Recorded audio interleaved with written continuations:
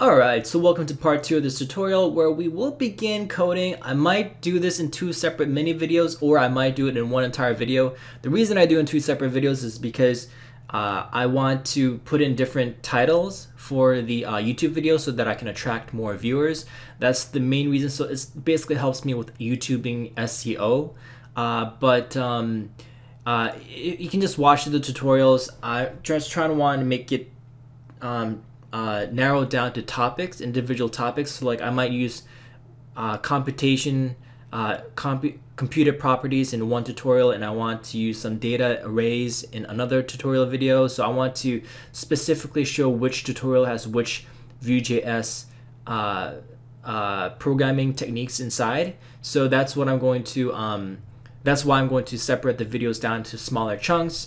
But let's see how it goes and let's get right into this tutorial. So the first thing I'm going to do is open up my uh, uh, PHP Storm. And once again, you can use any text editor you want. You can use Sublime Text. You can use um, you can use uh, uh you can use Atom.io.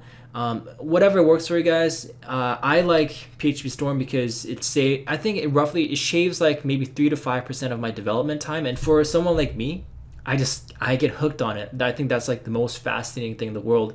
But if you're just starting out and you want to get comfortable, I would my personal opinion between Sublime Text and Atom.io, I would highly suggest using Atom.io. So that's just me. Um, I don't even use all the features of PHP Storm. I just use the coding basic coding features of PHP Storm and it works phenomenally for me. So that's what I like. But once again, use any uh, text editor you want. Um, this, of course, PHP Storm is not a text editor; it's an IDE. But uh, it really doesn't matter because we're not really using hardcore IDE features. And for a new programmer, something simpler like Sublime Text or Atom.io might even be better. So having said that, use what you guys want. Um, just follow along and uh, let's get this tutorial going. Wh whichever, my basic message is any text editor is wonderful. I'm not doing any complex stuff, so whichever text editor you use won't matter at all. All right, so having said that, I have my file already made. So it's called money machine, money machine, money dash machine 2.html as you can see right here. So let's say uh, we're gonna create a file here and I, I'm not gonna go through where I get the CDNs for the um, for the files because it's really tedious and I'm not trying to show you how to get CDNs. Like just I'm just gonna copy and paste and you can copy and paste word for word or you can Google your own CDNs. But these are the ones that I'm gonna use. So we have jQuery for Bootstrap because um, Bootstrap plugins, some of the some of the animation Bootstrap plugins like drop down menus uh, in Bootstrap uses jQuery. Uh, am I gonna actually use jQuery? I don't know, but I usually just like installing jQuery for fun because it's a small application and it's not that uh, important for scalability yet. Um, so to keep things simple, I'm just going to install jQuery in case we use it, in case we change our mind. And we're going to use Bootstrap here. Um, of course, we have the Bootstrap CSS CDN and we have the Bootstrap J JavaScript CDN. We need both. So, and we also have the Font Awesome CDN. Am I going to use it? Probably not, but once again, I just like having it there. So in case I use it. It's really easy to have icons for your buttons if you have Font Awesome. So that's one of the reasons why you want to have Font Awesome included. And once again, this is for Bootstrap. Bootstrap uses Font Awesome.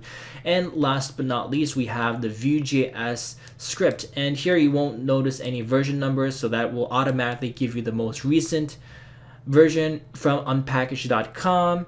So that's the, basically the installation of this. And and and uh, that's simple installation. So uh, the first thing we want to do is, of course, if we go here, now this is our blank page.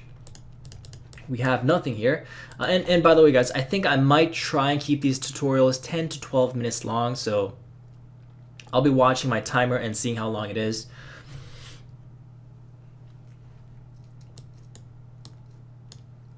So we want to, let's see, um, we want to first create a title called Moneymaker. So let's go do that. So let, I'm going to put everything inside a div called container and inside I'm going to create a div called app. And here I'm going to create a script tag that we're going to put our JavaScript in. And inside our app, we're going to say um, h1 money maker. And we're going to give this a class of text center so it gets centered if we go back here, we have Moneymaker. All right. Yeah, so Bootstrap really makes styling easier. If Bootstrap wasn't here, this would be some weird other font, and then the margins and patterns would be wrong, and um, it would be like an ugly font, and you don't you don't want an ugly font. It's you want like you want a decent looking font, and that's why Bootstrap is good. So just keep that in mind just showing something presentable. The reason why Bootstrap is a programmer's best friend is because it makes it allows programmers to understand basic designing concepts without knowing shit about designing.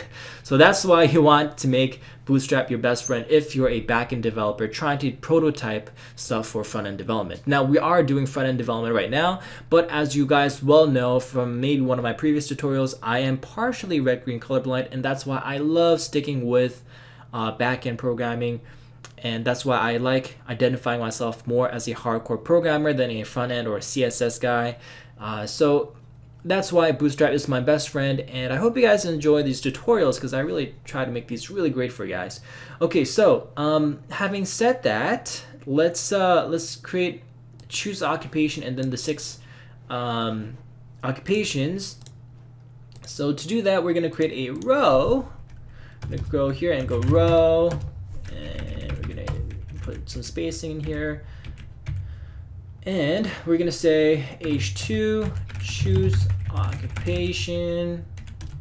And then here we're gonna create another row. We're gonna say row, and we're gonna create um, div called call, as column sm4 times six.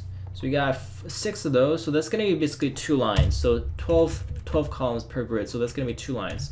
So here we're going to say uh, button, uh, button, button large, button primary. Hey guys, I'm going to try something interesting. I'm going to try, I'm just going to experiment here. I'm going to go like this, this, this, this, this, and then here I'm going to go Alt. I'm to hold down Alt and then I'm to click these areas so click, click, click. Oh, sorry, not not that one. Ah, oh, fuck. All right, click, click, click, click, click, click. All right. Now that we got that working, let's um. Let's say uh, mm, I'm gonna do button, button and, the way I did it was I held down Alt and I clicked on each one. So I'm not. I think it's slightly different in Atom.io. I'm not sure, but once you stick with your text, I'm pretty sure Atom.io has this functionality as well. So once you stick with your uh, text editor or IDE, try to figure these things out because it can help with your uh, development time cycle. So we go uh, button, button primary and button large all right, so there we go. So here we're gonna say, if we go back here, it's all gonna be blank. So got some blank tabs. And um, let's see. Choose occupation. Guys, I forgot about one thing. I have to create this into a two separate div tags. So I'm gonna go like, whoops, I'm gonna go like that. And I'm gonna go like, whoops, like that. And here I'm gonna go row and delete this one. So I want two separate rows because I want style, margin, top, 20 pixels. And once again, guys, I'm just loosely doing this. I'm not trying to make this really super good. Of course, you don't want to do CSS like that, but um, just just make sure that it looks all right. Present. I'm I'm not too concerned about like putting the CSS all in one file here. I'm just showing you some Vue.js concepts. That's my main goal here to show you Vue.js concepts so that you can do Vue.js programming. Uh, so uh, I'm gonna go back here and we're gonna enter in the six occupations. We're gonna go doctor,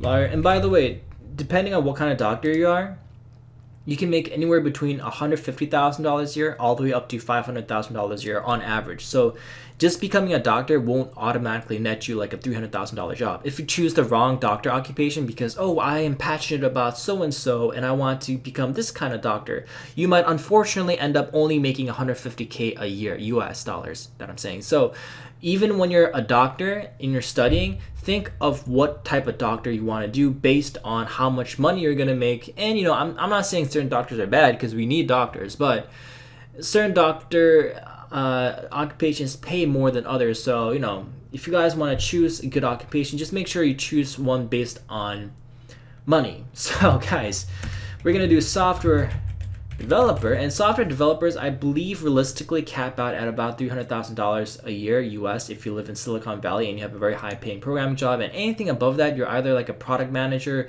or you run your own programming business or you hire other programmers to run make software for you and you're more of a software uh, business idea person than, than a specifically a programmer. So programming is not exactly the most uh, uh, uh, lucrative fuck, I forgot the name.